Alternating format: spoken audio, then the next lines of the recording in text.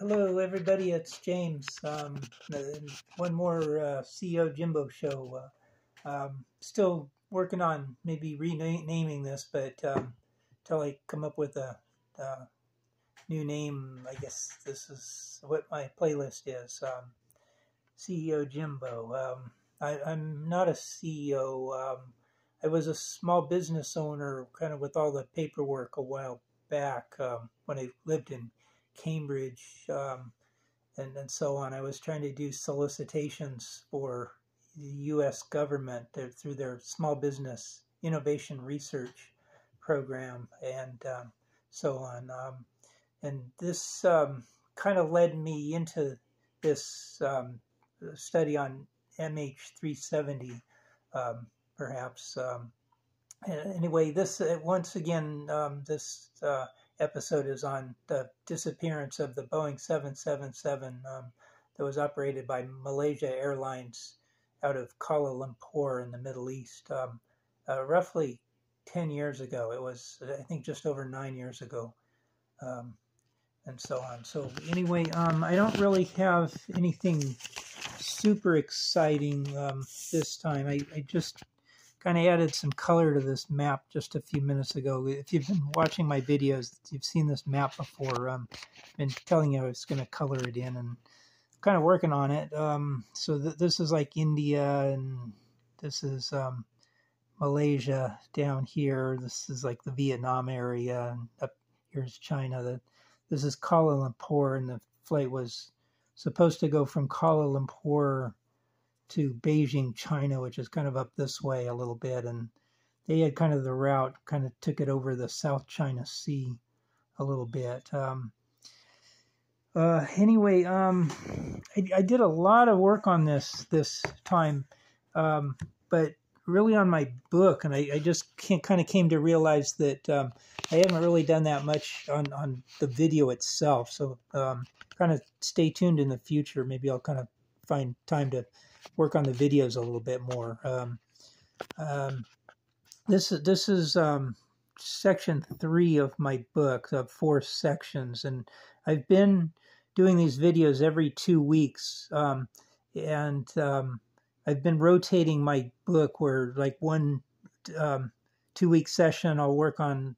You know, it was section two last time, and now it's section three, and tomorrow I'll start on section four, do that for two weeks, and then shoot a video on what I have on section four, um, um, and so on, and then uh, move on to section one again, and so on. Um, this is kind of the um, uh, outline of it, and one of the first things I did uh, starting this one is I kind of rearranged it a little bit. If if you're really paying attention in detail, um, I used to have radar kind of down in the bottom. I think it was like WSPR Inmarsat radar and I switched radar and Inmarsat. So it's kind of like a walking tour. You kind of walk you through radar, then Inmarsat, then this thing called WSPR, and then onto um, sort of some innovation and other um, uh, navigational nuances, um, just pilotage and dead reckoning, fuel management, how much fuel the plane had, and that kind of stuff. Um, so anyway, this is very extemporaneous. I, I just spent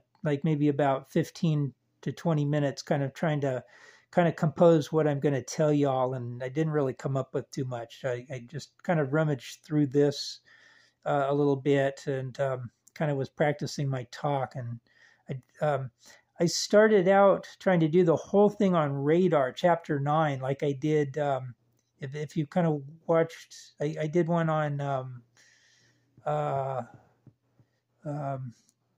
WSPR one time where uh, the last time I, I uh, section three was up in the rotation, I just focused on WSPR.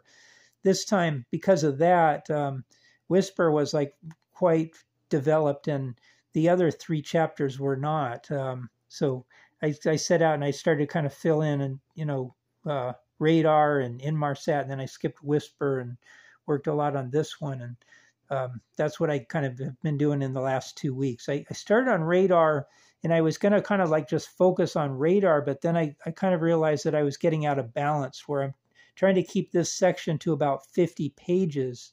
And I had, I was up to about 25 pages and I had radar and I had WSPR kind of all filled in, and I really didn't have anything on either Inmarsat or this other one. So I figured, well, you know, I, I can't really um, keep, you know, building on radar and stay in balance. So I, um, um, I, I, switched to working on Inmarsat in this one. So right now they're all sort of about even Steven, and I'm up to like about maybe 35 pages or something like that. I don't know if this shows page count. Uh, I, I was working on a laptop computer and I just transferred this over um, to to this computer to show you and also to kind of keep it um, uh, doubled up. So th- this is going to store for like two months. It'll come back up in the rotation about two months from now.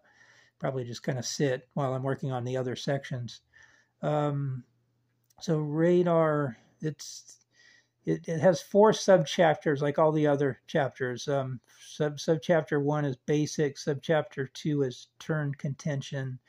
Sub chapter three currently is Selex, and so that's a company that makes radars like Malaysia Air, Malaysia, like uh, air traffic control um, um, facility has equipment made by uh, Selex, I guess. Um, uh, some of this I'm just really learning myself um, totally, and and other stuff I kind of like know from the past, from various um, you know places and so forth. Um, and then section four is um, is about these two intersections where the plane ended up. Um, it um, disappeared off radar at um, intersection VAMPI and Mekar, um, which are, uh, we'll get to that in a little later. I'll show you that on the map and so on. Um, so radar basics, um,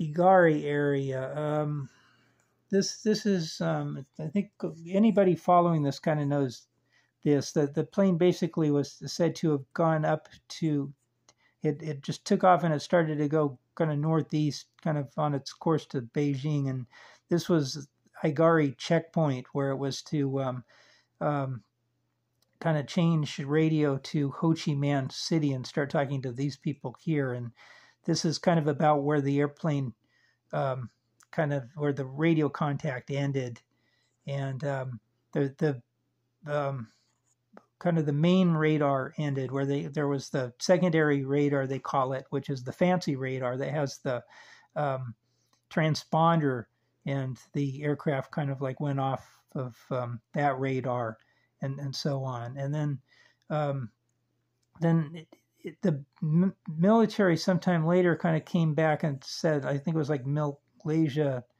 and military in this area said that they tracked it kind of instead of going up here turning left and kind of going out this way and then up kind of into the um, uh,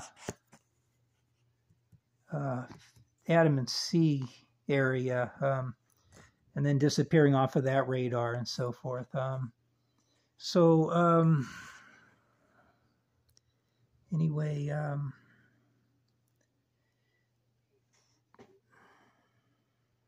hmm. Here we go. Back.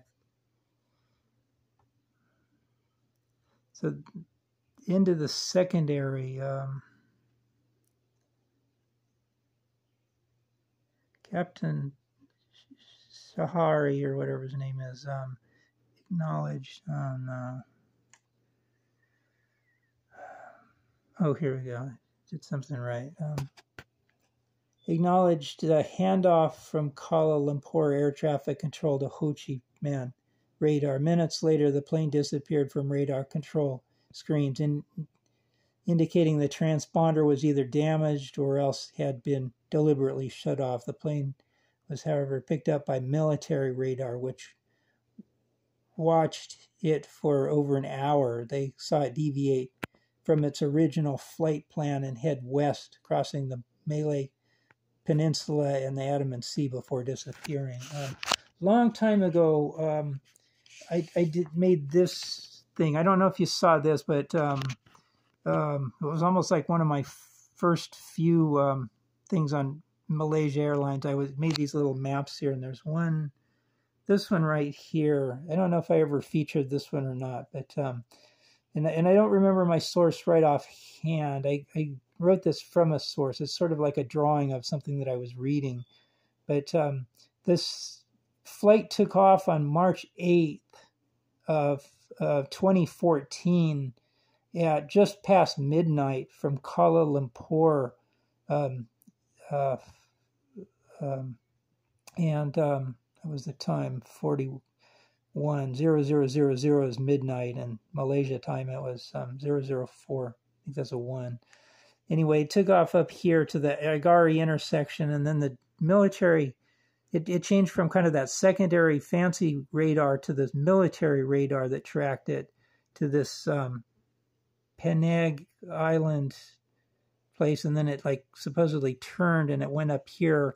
So at 222 malaysia time um, I, um, it it um, it then disappeared off of radar here. Um, and and i was just learning during this two week period that there was kind of a gap here that um, a little bit later then it kind of like then, then the inmarsat kind of picked up on it and then they got inmarsat pings. But there was sort of like a there's sort of like this um, salient boundary as to when the radar ended and the Inmarsat signals kind of like started um, or something like that. Um, so um, anyway, I'm trying to kind of sort all this stuff out, and I even changed the name of my book. Um, this was kind of just in the last day or two over the weekend. I was like working on other things, and um, I don't know if this is going to stay or not, but it, it has been called the um, MH370 um, um, wrestling to make sense of the disaster or something like that. And it just seems too much like a research paper to me. This is trying to be a book. And in the spirit of, you know, you can't judge a book by its cover, I was trying to come up with something sort of clever that's kind of like, you know, um, doesn't exactly explain what the book is. So stay tuned on that, whether that sticks or not. Um, but that I'm playing with that idea right now. I don't know why this why that changed. I'm at 12 minutes 40 seconds right now, so I, I need to kind of like start summing this up almost. Um, I was going to try to find at least one juicy one in here somewhere. Basics, um, Penang area, um, primary rate oh yeah, I, I, uh, primary irony. I did did a lot of um, word. What do you call it? Um, I do this a lot in writing. Um, um, word association, where I kind of read here and then I kind of try to come up with a word, words, or phrases, and then I write it into my topic here. So I basically didn't have anything. I, I had chapter nine radar, subchapter one basics P4, but I didn't have a title for it. So I read through this and I came up with this title Primary Irony, Irony and Others. And some are fitting, some are not. Um, some I may leave, some I may kind of change later on um, as this develops and so on. But I came up, let's see, primary radar system based on the earliest form of radars developed in the 1930s. Detect and measure the approximate position of the aircraft using reflected radio signals. It does this whether or not the subject wants to be tracked. The secondary radar system relies on targets being equipped with a transponder.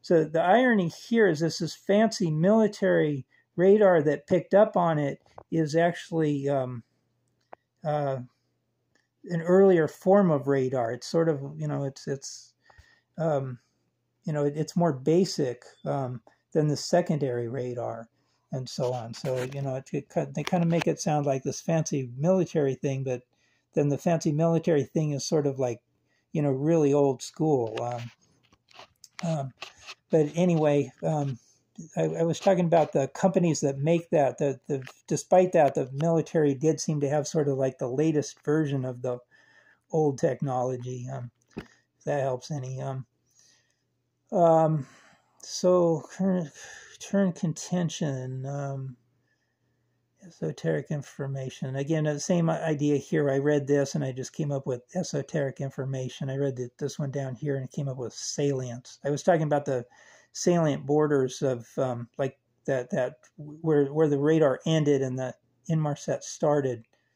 Um, and so on. This there's another one kind of right at that Igari intersection, where the control of the Saga of flight MH330 is the waypoint named Igari. The flight en route is transfer of control point. I don't remember um, where the salient comes from. Um, contact was lost just after the aircraft passed that Vietnamese aircraft controllers realized that 370 had not contacted them, but Malaysia air traffic controllers did not notice the diverted westward thing. So that one's kind of weak compared to some of my other ones, I think. Um, vanished en route to people. Plane that wasn't there. The air traffic controller computers to display the aircraft symbol, even though the ADS-B signal had winked out. Um, so that's kind of, I won't even get into ADS-B at this point. Um, I think I kind of need to sum it up. It's 16 minutes into this and some change. Um, turn content, tension, accuracy, and others. Anything. Just looking for something that's just really kind of almost fun. Um, radar fog, that's not a good one. Um,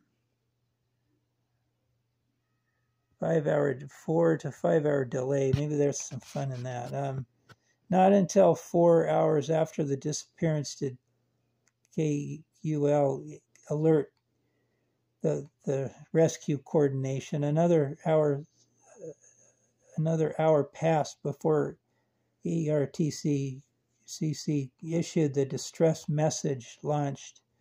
So there's, I think I've seen sort of like some people say that uh, Vietnamese airspace noticed right away that they didn't call in and were concerned. And there's sort of like maybe some other indicators that they sort of like didn't notice that the plane did not check in. They sort of forgot about it, that it was supposed to check in and like it, it you know, um, maybe the plane was supposed to land at 6 a.m.